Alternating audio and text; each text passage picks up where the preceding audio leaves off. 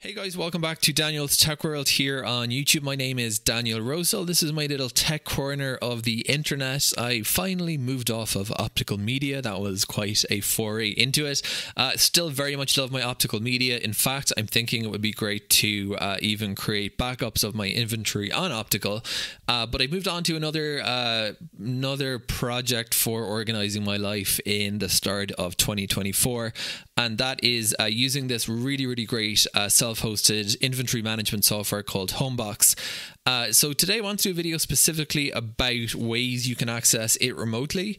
And I'm going to talk about the ways that I've played around with. And I'm going to talk specifically about Tailscale because it was the easiest one to get working. And uh, I'll talk about that and some disadvantages of doing it remotely uh, locally because a lot of people this is a docker image a lot of people are hosting it like me on their synology nas and uh, it's feasible if you're using this for inventory management in fact it's predictable expected that you might have needs to access inventory from outside of the local network. So the question becomes how do we take this docker image this container running on a specific port and how can we access that from the outside internet in a secure fashion that doesn't uh, you know that doesn't open our local network to a bunch of security risks? So the first first suggestion or way to do this and this obviously is not actually what we're here to talk about today but you can of course the easy solution to this problem is to deploy uh, your homebox installation uh, install the container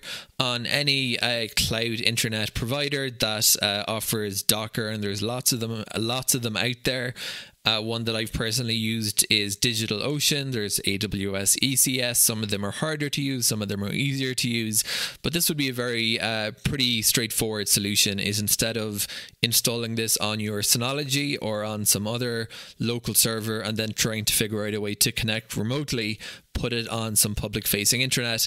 The uh, concern, obviously, or the, uh, the reluctance, I'd say, for a lot of people is that um, by doing this, you've created a dependency in the sense that you have to keep paying for your hosting to a third party provider to keep your inventory management accessible. That's actually the entire reason that I did it on my Synology. Nothing about saving money, but rather because I don't like the idea of something as personal as my inventory catalog um, depending on me keeping up payments and you know with a third party.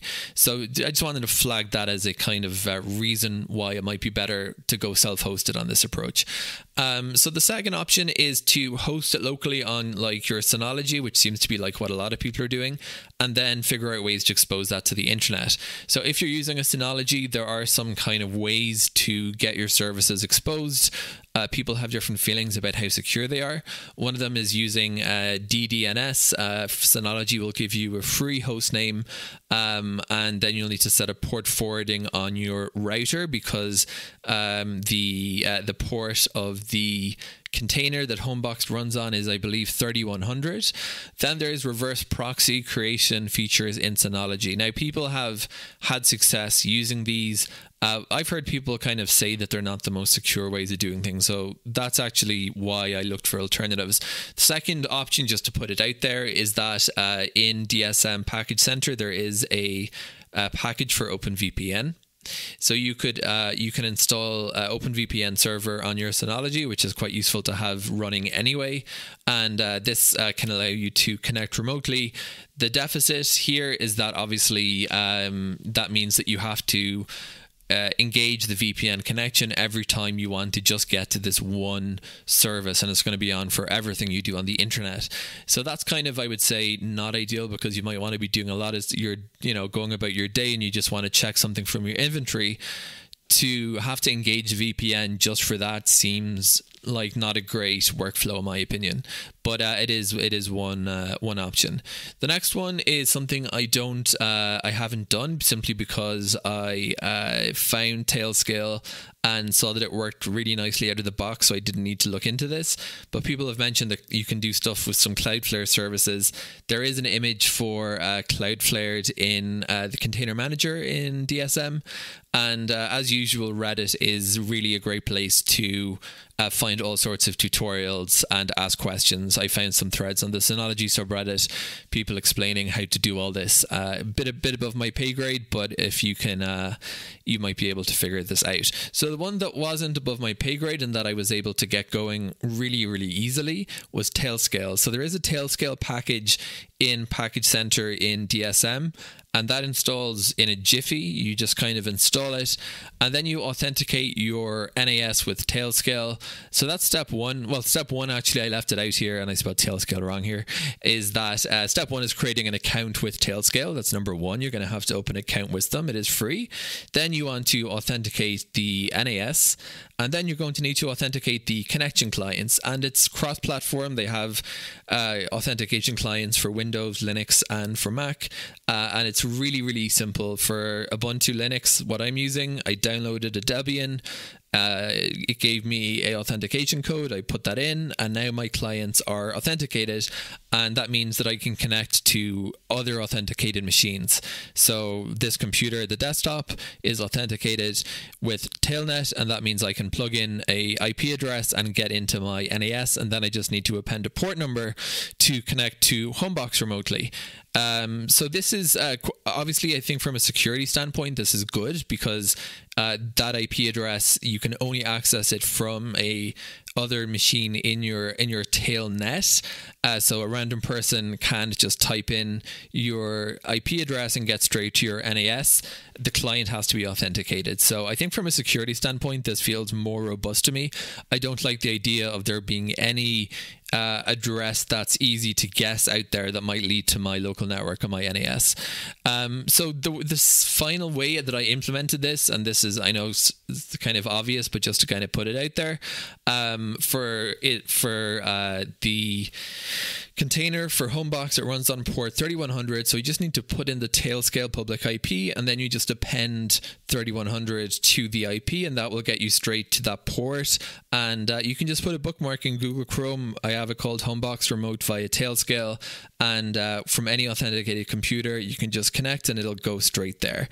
Now, what if you wanted to say I have a domain name? So this is just some implementation I thought of. Um, it's a little bit um, I mean, the advantage of this, I thought about doing this before realizing that it's actually more complicated than it seems. By which I mean, I thought, okay, let's buy a domain name like Daniel's Inventory or Daniel's Stuff, and I'll put that on to the Tailscale um, to the public IP and the port, and that'll just move me straight there, uh, just for convenience. Now, if you have a bookmark, is it really that much more convenient to have a website that only you can access? I'm not sure it is. But if you want to go down this route, buy yourself a fully qualified domain name and to get from here to here, to get from the domain to the port, there is a blog on Tailscale about how to do this because uh, you actually you, we're not just forwarding from this IP to this IP, the Tailscale IP. We also have to forward the port, and that's where the complication comes in. Um, so there is a way to do it, however, uh, because you know stuff runs on different ports, and there is a very detailed blog on the Tailscale website as to how to do this, uh, how to say. Um, take this IP address and uh, move it on to through Tailscale to this port. I haven't done it yet, and I've been I'm kind of in mixed feelings as to whether it's actually worth the hassle because for very little added convenience, as I already have to authenticate my machines, is it really worth doing? I think it's probably not. One issue that I want to flag here, and I might flag this with the project team, is that when you scan your QR codes of your inventory and you can see like this is really the key functionality here is you scan the QR codes you see this goes in this box.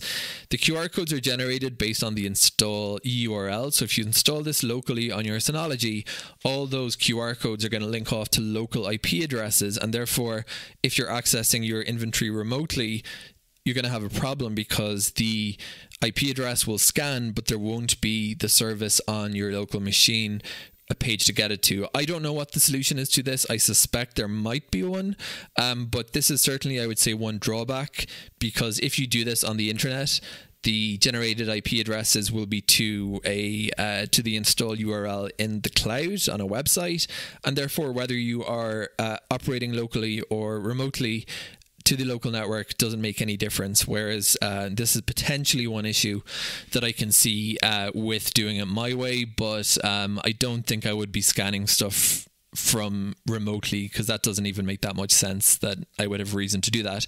Uh, but you know, if you want a more robust solution um, and perhaps using this uh, home box for managing infantry in multiple locations, and you might want to manage stuff you know that might your assets might be moving between locations and therefore between networks i can see this potentially being an issue anyway i'll leave it there there's lots of brainy people uh, involved in this project lots of brainy people install this and you might have an idea if you if you can't think of a solution to this uh, situation I flagged here, then please leave it in a comment. Thanks for watching. If you're looking to get started with Homebox, I hope this was helpful. Until the next video.